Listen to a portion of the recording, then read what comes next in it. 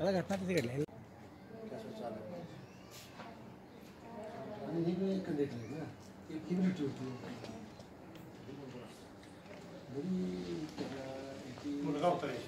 होता.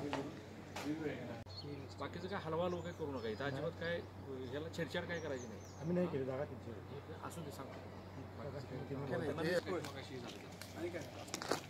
किरकोळ काय ते पोरापर्यंत असतील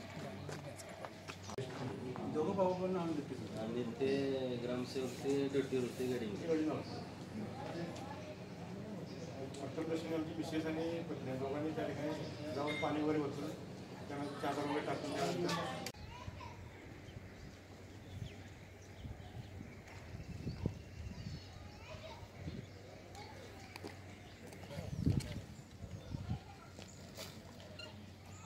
अरे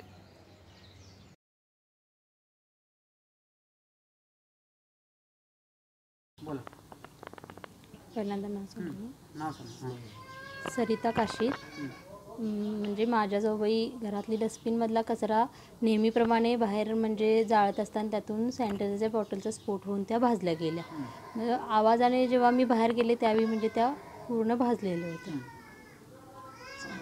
कधीच्या किती अं, वाजता साधारण घटना पाच घडली आणि? सव्वा पाचच्या सुमाराला. संध्याकाळी पाच सव्वा पाचच्या सुमार सोमवार. अठ्ठावीस तारखेला सोमवारी पाच सव्वा पाचच्या दरम्यान? हां.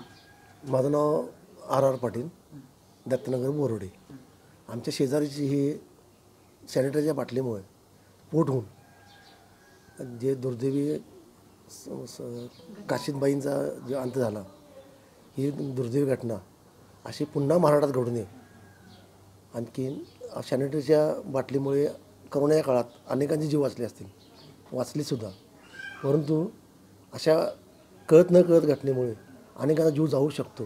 तरी शासनाने खबरदारी घेऊन ज्या शासनाने बाटल्या वाटल्या होत्या किंवा जे स्वयंसेवी संस्थांनी बाटल्या वाटल्या होत्या त्या बाटल्या परत घेण्याची व त्याची विल्हेवाट शासनामार्फत लावण्याची तजवीज करावी अशी माझी विनंती आहे.